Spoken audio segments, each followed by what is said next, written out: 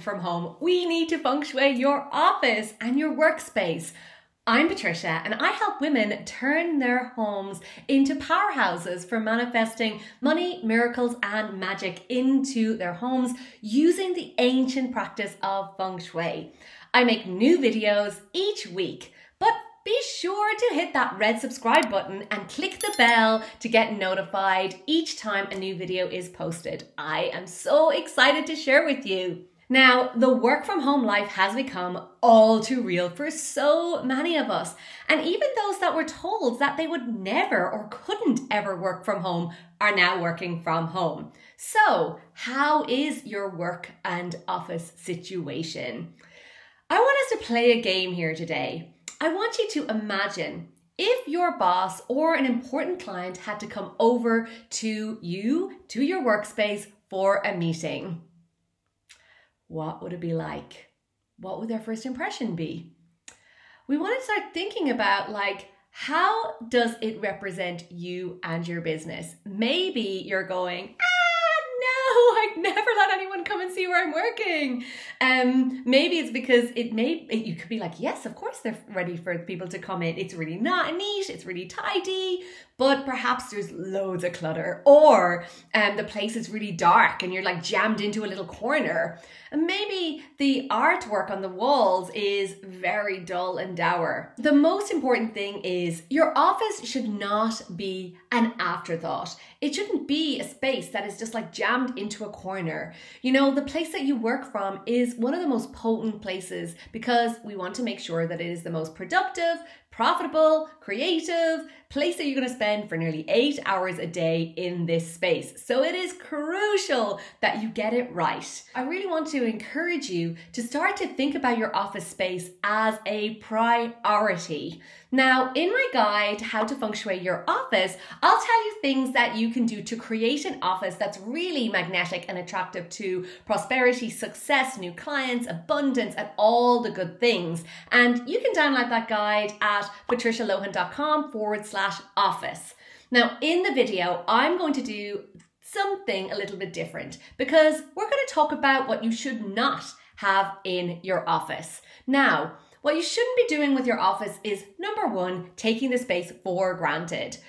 The number the second thing you shouldn't be doing when you're sitting in your workspace or your office is sitting with your back to the door. The third thing is sitting on a wonky chair. the fourth thing is having loads of cacti or spiky plants in your office space. The fifth thing is not to have lots of things in your workspace that are unrelated to your work. They're not aligned to your vision and your goals. And the sixth thing is you don't want to see a cluttered screensaver or desktop. And the seventh thing is having unrelated things like your suitcases, your kids' toys, or your unrelated files in your office.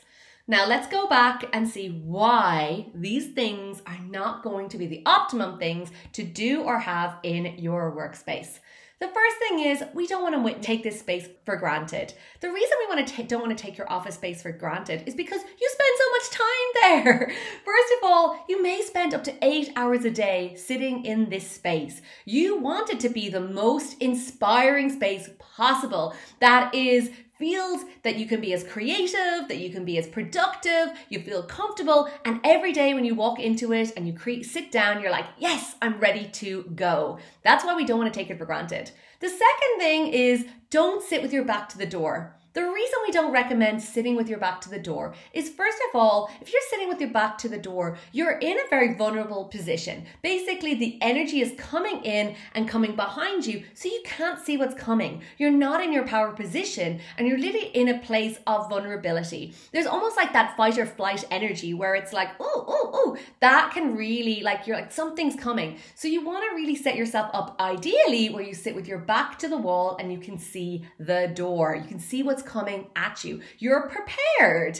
Now, the third thing is we don't want you to sit on a wonky chair. So, Our chairs and what we sit on is this is creating that sense of stability. We want to feel stable and supported every day when we work.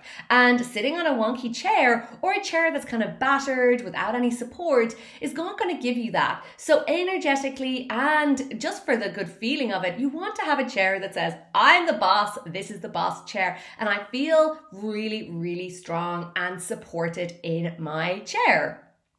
Now, the fourth thing is not to have lots of cacti in your office. So it's totally fine to have plants in your office because they represent growth. And even images of plants is a great thing to have in your office, but not cacti or those spiky plants. Why not cacti? Well, because they're like they're quite they repel the positive energy and we don't want anything repelling any positive energy out of your workspace now the next thing that we talked about was number five not to have stuff in your office that is not related to your work. So, we're talking about your suitcases, your kids' toys, unrelated files, you know, all of your husband's or your partner's books, um, you know, that they love reading, or your past careers documents. All of those things in your office are blocking the energy that you're calling in, and they're literally also distracting your concentration.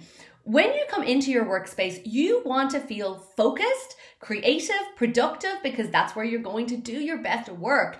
And anything like that is really depleting your energy. So it's time for a big clear out of anything that is unrelated to your work. You want to start to have things in your office that make you feel, yes, I love this and I feel great. Now, the sixth thing that we talked about was seeing a cluttered screensaver on your desktop. The same thing as coming into your office and seeing loads of things unrelated to your work is this when you come onto your desktop and you look and you see all these files and it's like, wow, overwhelm. We really need to get that organized. Now, my quick trick for this is getting all of them, selecting all files and popping them into one folder and giving myself a lot, a lot of time to sort through them and just delete, delete, delete. We want to create on, have on your um, screensaver something that is super inspiring. Maybe it's your vision board. Maybe it's a picture of your family. Maybe it's something that you're working towards and you're calling in that's your screensaver that reminds you of why you are doing this work. So that's an important important thing is that you want to make sure that there's space on your screensaver so that there's more space for calling in things. And the same goes for your desk. Now, your workspace needs to be and should be aligned with where you want to go in your career. The artwork in your space should be aligned and inspiring as well. Now, your office really should be ready for your boss or a client to be able to walk in, sit down, and sign some paperwork even if that will never happen. Because honestly, it will just make you feel so good when you come into your workspace every single day. I know that things changed so much when I started to use these exact things in my workspace, and it can happen for you too.